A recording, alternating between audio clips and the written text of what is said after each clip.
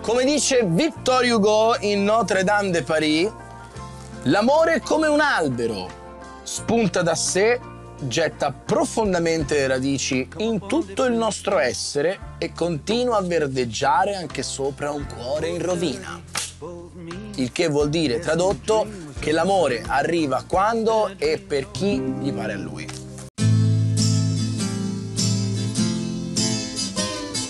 Mi ricordo i viaggi in macchina con i miei genitori e con mia madre appassionatissima di Riccardo, quindi mi sentivamo tutte le sue canzoni. Tutto normale fra di noi, cara celeste nostalgia.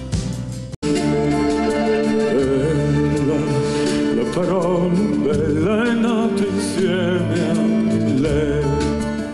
È una canzone difficile, cioè ogni personaggio racconta la sua difficoltà di avere il contatto con, con Esmeralda. Sia Quasimodo, sia Frollo e sia Febo eh, vedono il pericolo nell'amore. Lei è un volo che afferra e stringe A cantare sono dunque i tre uomini, innamorati di lei, ma senza speranza come quelle infatuazioni estive destinate a restare tali. Il primo è Quasimodo. Esmeralda non si innamorerà mai di lui. È gobbo e deforme. Qualcuno che le scaglierà la prima pietra. Se c'è un personaggio che mi appartiene totalmente in, in Notre Dame è Quasimodo. Quasimodo sono io. Volesse il diavolo io lo definisco sempre il più puro di tutti perché è vergine di sentimenti, perché è abituato a vivere in cattività. Io ho sempre avuto dei complessi, eh, complessi di, di, di, fatto di essere piccolo, di non essere presentabile certe volte.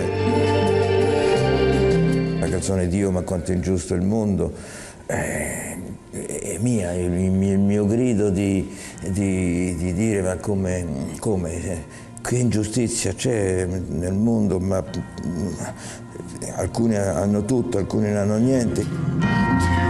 quanto è ingiusto il mondo, io nessuno e lui Signore. Gli altri due uomini che cantano la nostra canzone sono l'arcidiacono Frollo e il capitano delle guardie Febo. Uno è un prete cattolico, l'altro è colui che ha l'ordine di cacciare Smeralda e il suo popolo di zingari dalla città, quindi capirete che per due così non è proprio così semplice vivere il sentimento per lei, a proposito di amori impossibili.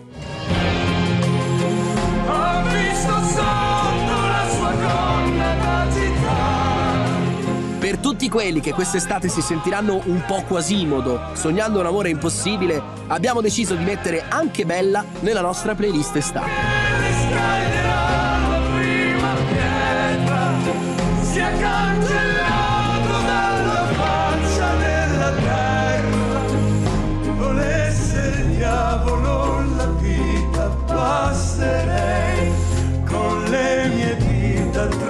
Notre Dame de Paris ha avuto un tale successo che quest'anno è di nuovo in scena in tutta Italia. Quando Notre Dame ha fatto la moda, ma non era la moda, perché non era assolutamente concepibile fare un'opera del genere e avere successo. I tempi dell'insicurezza giovanile per Cocciante sono lontani. Oggi gli amori impossibili di Cocciante riempiono i teatri.